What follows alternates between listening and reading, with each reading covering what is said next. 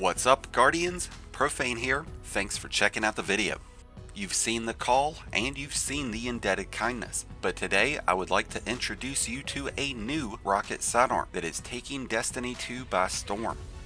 The Aberrant Action is the new solar rocket sidearm, and it might just be the most powerful legendary weapon currently available.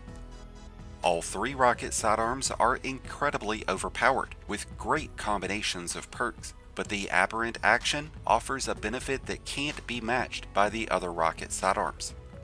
The Aberrant Action can be obtained through the new seasonal content, so you'll be able to get it by completing any of the Echo's associated activities. You'll also be able to focus this weapon through failsafe at the helm, but that's once you've unlocked her tier 2 weapon focusing upgrade.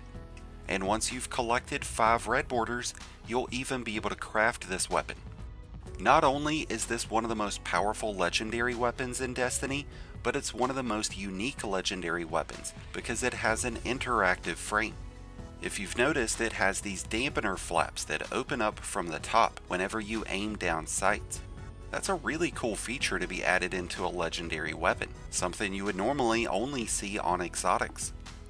In almost every single way, this rocket sidearm is built just like the Call and Indebted Kindness, but it offers a unique mix of weapon perks that make this a much more dominating weapon. It also features the Radiolarian Transposer origin trait, so when we do defeat enemies with this weapon, those enemies will burst into a pool of Radiolarian energy, which is going to cause damage to nearby enemies, and with the Logic Reductor artifact mod, we can increase the effects of this origin trait. This added area damage gives this weapon a huge advantage towards crowd control, Rocket sidearms are naturally great with ammo economy, making them perfect to use with double special loadouts.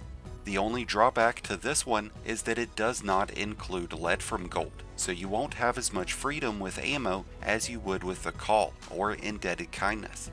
With that said, the aberrant action does offer traits like field prep, which will increase this weapon's reserves. And if you're hard pressed on ammo, you could always use the special finisher class item mod, the Aberrant Action has damn near identical base stats as the other rocket sidearms, and for the most part, it feels just as smooth and just as responsive as the others. It has almost the same barrel and magazine options, with just a few slight exceptions. You've got great options like linear compensator or quick launch that can be paired up with either high explosive ordnance or high velocity rounds. I prefer high explosive ordnance because it will increase the blast radius of each projectile, but having increased velocity will definitely help. High explosive ordnance will decrease our magazine size, but by using a backup mag mod, we can bring it back up to 12. When it comes to this weapon's third column traits, we've got quite the lineup. We have Strategist and Pugilist, and either of these would pair up really nicely with Demolitionist, this would give you some incredible ability regeneration, offering you bonus melee or class ability energy right alongside bonus grenade energy.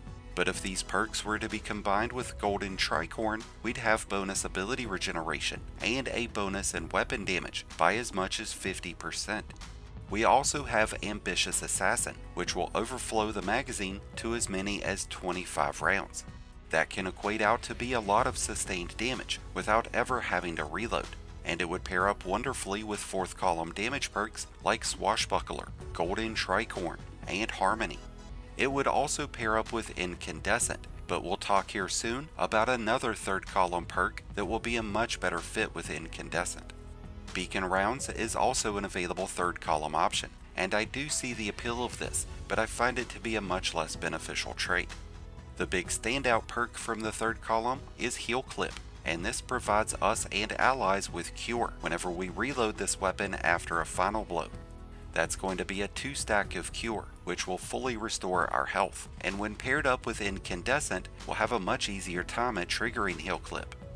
Incandescent will cause Scorch to be spread to nearby enemies after each and every final blow.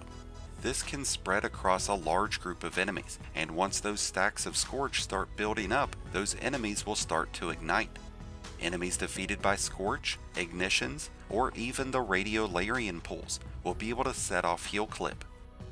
One of the biggest drawbacks to running a rocket sidearm is the potential for self-damage, but since we'll be able to instantly restore our health, it's going to completely remove that worry as it gives us a reliable source of health recovery which will come in handy in in-game content.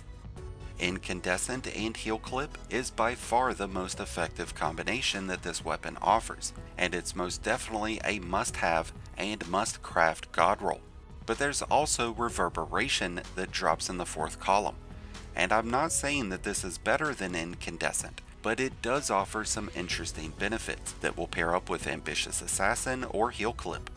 I like to think of this as kinetic tremors but for rocket sidearms, because after each final blow you'll gain a stacking bonus to the size of the detonation blast of each projectile. This increases this weapon's blast radius while this perk is active, allowing it to hit more targets and cause more damage to a more spread out area. It's a pretty fun perk to use, but Incandescent is just too good to pass up on. The Scorch and ignitions created by this weapon can be improved upon with the use of Ember of Ashes and Ember of Char, which are solar class fragments. The ignitions can also be upgraded with the use of the Facet of Ruin prismatic fragment, but the solar fragments will be much more effective. And that's the big difference maker in choosing incandescent over top of reverberation or golden tricorn.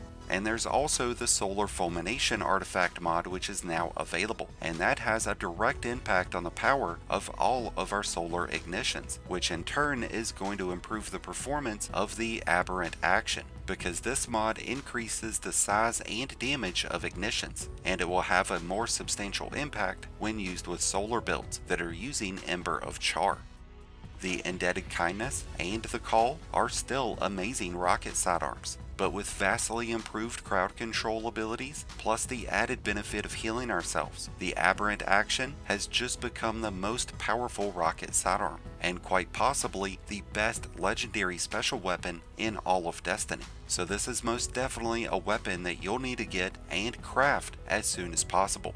And with that said, I wish you all the best and luck out there. Let me know your thoughts on the aberrant action, the new Echoes content, and the current state of Destiny. Let us know down in the comments. If you're in need of a good build to go with the aberrant action, then be sure to check out my Mobalytics link down in the description, where you'll find a ton of great endgame PvE builds. If you're a new Light Guardian, just starting your journey, or a battle hardened veteran, just looking for a new place to call home. Then be sure to check out the Discord link that's also down in the description and join one of the greatest communities in all of Destiny. Thank you as always for checking out the video. If you enjoyed and found it helpful, then be sure to hit that like button below, along with the subscribe button if you're new. Both are greatly appreciated, and both really do help support the channel. And until next time, Guardians, this has been Profane, wishing you all some happy hunting.